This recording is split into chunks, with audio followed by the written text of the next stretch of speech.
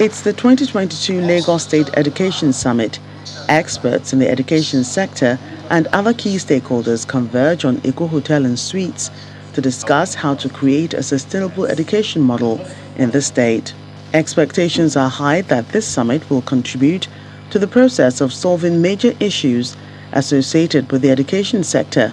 We want to live here with practical and implementable solutions that can be used to build the workforce that will power the Lagos State economic development agenda. This panel session highlights what should be put in place to improve standards.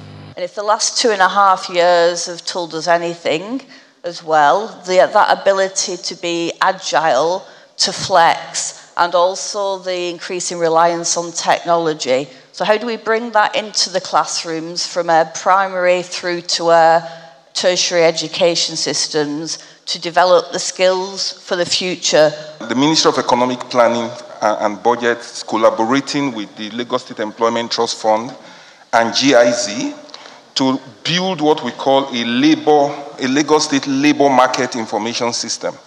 Um, and the idea for it is to be able to connect uh, between what is happening in our institutions of training and what is happening in, in industry. If we don't get the curriculum right, if we don't get uh, constantly retrain our teachers, if we don't understand that technology is going to be the only solution going forward, just given the total numbers that we're having to deal with, um, I think we're going to fail at it.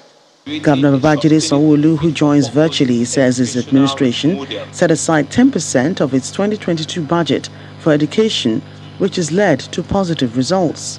The investment we have made in education in the last three years, you know, we are beginning to see the benefit of it. We're beginning to see it show up in the outcome of, you know, the WAEC results that is coming out from our public schools. You know, um, three years ago, we were below 40%.